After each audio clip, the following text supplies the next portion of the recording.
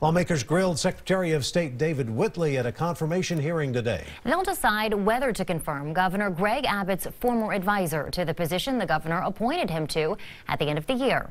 KXAN's Wes Rappaport has the latest from the Capitol. I'm committed to ensuring high transparency. Texas Secretary of State David Whitley did not admit mistakes in sending out a list of suspected non-citizen voters, but said there's room for improvement. I will readily level with you that we can always improve the process. But the data is what the data is, and we were confident that that was the the best data that we could get from DPS. County election officials from across the state say some of the flagged names sent their way turned out to be naturalized citizens. Democratic lawmakers hit Whitley hardest. How do you define voter suppression?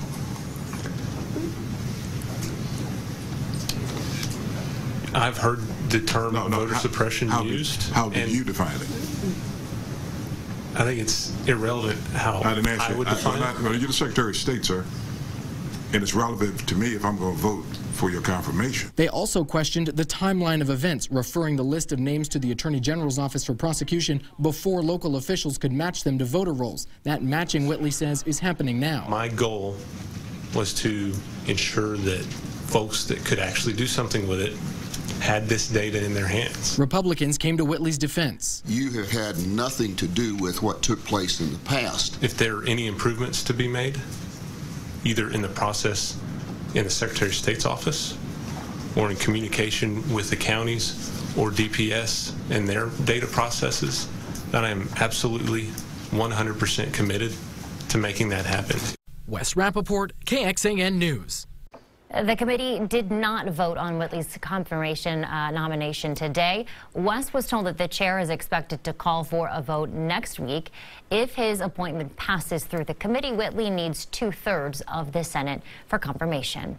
And back to that list of non-citizen voters. The original list released by the Secretary of State questioned the status of almost 100,000 voters statewide, but those numbers dropped once individual counties started to review the data. The state's first list showed Travis County had more than 4,500 registered voters suspected of being non-citizens. County officials found that more than 1,600 of those people were mistakenly put on the list, and that number could grow as county officials look at the remaining names. The biggest change came in Harris County, Houston. Their original lists had almost 30,000 names. A review found more than 60% of those people were citizens and were eligible to vote.